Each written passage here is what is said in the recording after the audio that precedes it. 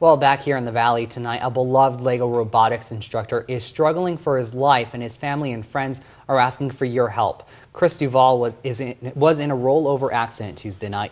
He was rushed to Asante Rogue Regional Medical Center and has been placed on life support. Family and friends are now setting up a fund to help pay for medical expenses. Medical bills like this are astronomical, and he does not have insurance. He's my father and my best friend and my teacher and just overall he's a, this amazing person. Well, if you'd like to learn how you can help Chris out or learn about the upcoming fundraiser, we'll post a couple of links onto our website. That's kobi5.com.